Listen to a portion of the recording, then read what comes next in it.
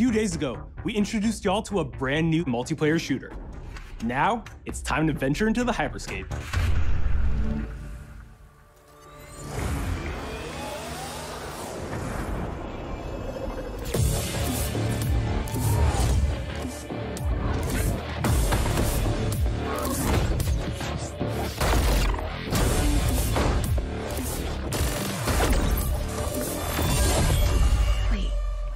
Was that? A hack in the hyperscape. That's not supposed to be there. Let me get you all up to speed, okay? About 30 years ago, everything that we feared about our future started to come true. We made some good decisions. We made some bad decisions. Actually, we made a lot of bad decisions. So, here we are. 10 billion souls living in the crush of the megacities. But the people at Prisma changed everything.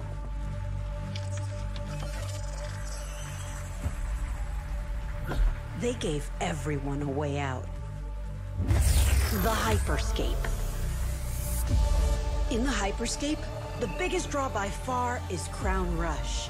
This is where anyone can become someone.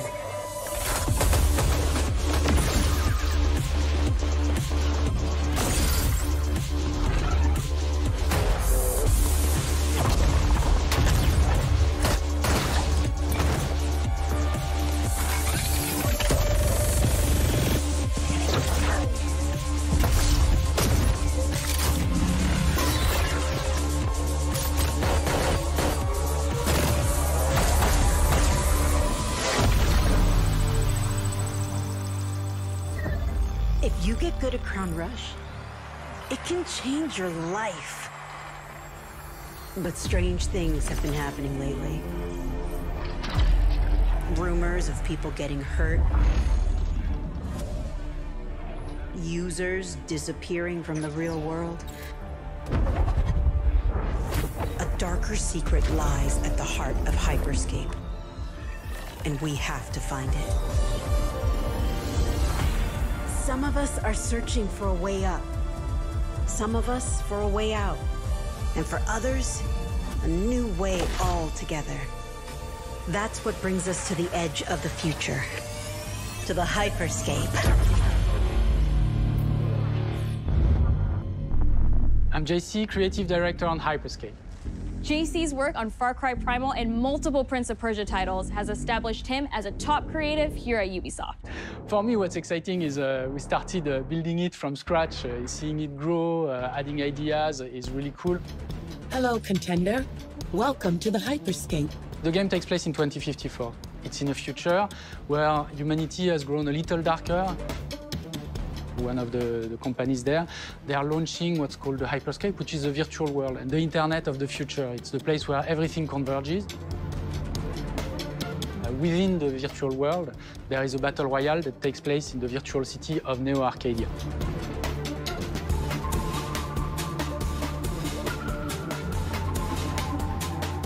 Then we also introduce a lot of new things.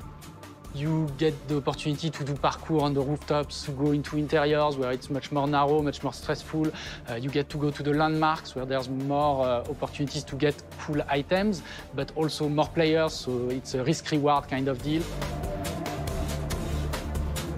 We introduce the notion of hacks, special abilities that you can pick up on the fly to adapt your tactics.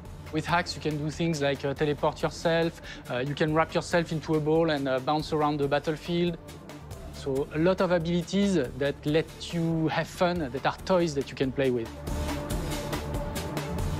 And finally, it's made as a spectacle, so all the viewers will be able to interact with the game on different levels through the Twitch extension.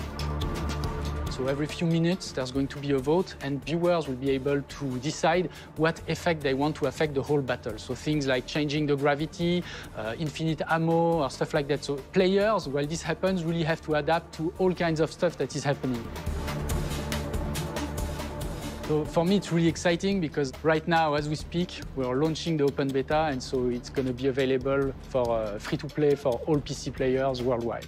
And I really want to thank all the uh, players, all the streamers, and all the viewers who participated in tech test and uh, who will participate in the open beta. Here's a short glimpse of what you can expect.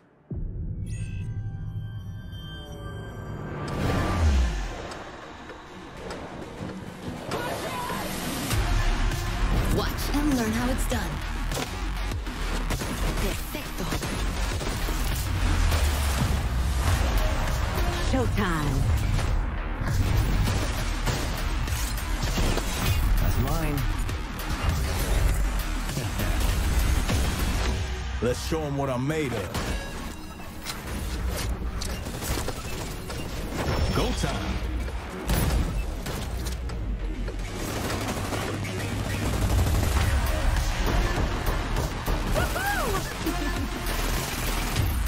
Watch closely.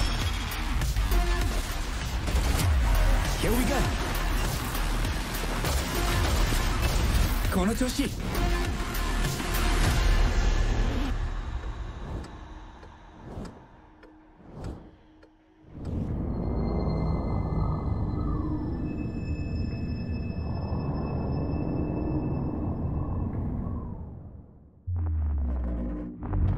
The digital world of the Hyperscape gave our artists and developers incredible freedom when it came to designing characters. Production manager Anna Maria Musca is going to take us behind the scenes of character design. My name is Anna Maria Musca. I'm the production manager for characters and weapons on Hyperscape.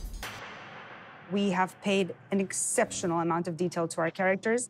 We switch different outfits, different fashion statements, different tattoos, different materials until we see them as real individuals, as real people. So the second you pick a character, you see them in game, you understand what their motivations are and what drives them and what challenges them. This was the first lineup of characters. This is our default base, but even starting from the hair down, everything has been meticulously thought of.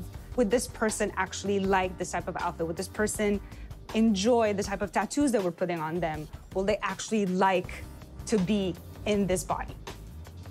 Each season, we plan to produce new outfits for these characters. So we're hoping some of our players are gonna see the effort and maybe even correlate some of the accessories to what's gonna happen in the game. We're very excited to see it in people's hands.